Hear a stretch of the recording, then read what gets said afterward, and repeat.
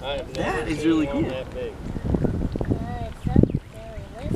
They're so, they're kind of rare. Like I'll catch them every now and the cast net, but Wow, it looks like a monster. It does. it does. See you apple. That is really cool.